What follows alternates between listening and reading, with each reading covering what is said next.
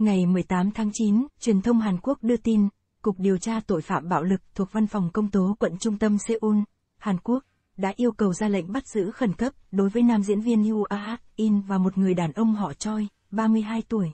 Họ bị tố vi phạm luật kiểm soát ma túy, tiêu hủy bằng chứng và trốn tội. Hồi đầu năm, cảnh sát Hàn Quốc bắt đầu điều tra Yoo Ah In sau khi nhận được hồ sơ từ Bộ An toàn Thực phẩm và Dược phẩm, cho thấy nam diễn viên xứ Hàn thường xuyên sử dụng Propofol, một loại chất cấm tại Hàn Quốc. Ngay khi diễn viên từ Mỹ nhập cảnh Hàn Quốc vào tháng 2 vừa rồi, anh bị tạm giữ tại sân bay. Cơ quan điều tra tiến hành thu thập mẫu tóc và nước tiểu để xét nghiệm.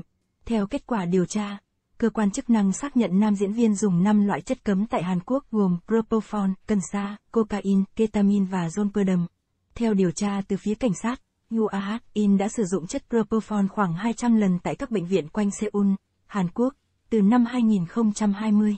Cơ quan công tố Hàn Quốc nghi ngờ nam diễn viên mua chất cấm trị giá 500 triệu won, khoảng 9,2 tỷ đồng, tại các bệnh viện ở Seoul, Hàn Quốc.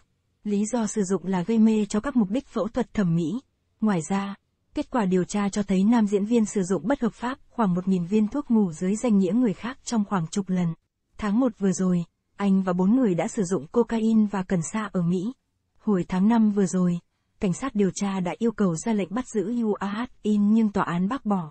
Sau khi thụ lý vụ án, cơ quan công tố được cho là tiến hành điều tra bổ sung kéo dài 3 tháng và phát hiện Yu Ah In nhờ người quen cố tình tiêu hủy bằng chứng. Yu Ah In là ngôi sao trẻ tuổi nhất Hàn Quốc giành giải nam. Trong quá trình điều tra, Yu Ah In cũng bị nghi ngờ ép một số người sử dụng chất cấm tại Mỹ. Ngoài ra, để che giấu việc sử dụng ma túy, Yu Ah In được cho là ép đồng bọn bỏ trốn ra nước ngoài, đe dọa đồng phạm và yêu cầu họ rút lại lời khai. Hiện, Phía UAH In chưa lên tiếng bình luận về những thông tin trên.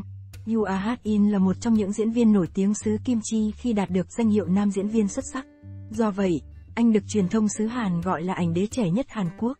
Tài tử 37 tuổi từng ghi dấu ấn trong những bộ phim nổi tiếng như Chuyện tình ở Sum Kiêu Quần, Tình sử Giang Ok Dung, Bi kịch triều đại.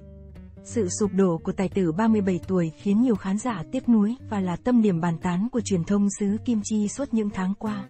Trước khi dính bê bối, Ah In được xem là một ngôi sao tài năng, có nhân cách sống đáng ngưỡng mộ, tích cực với các hoạt động thiện nguyện.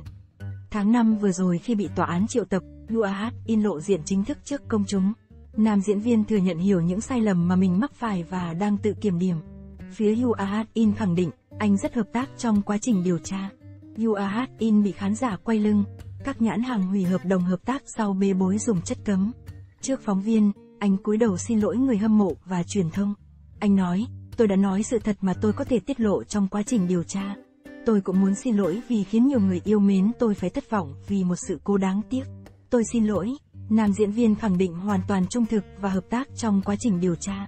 Tôi đã trung thực trình bày quan điểm của mình.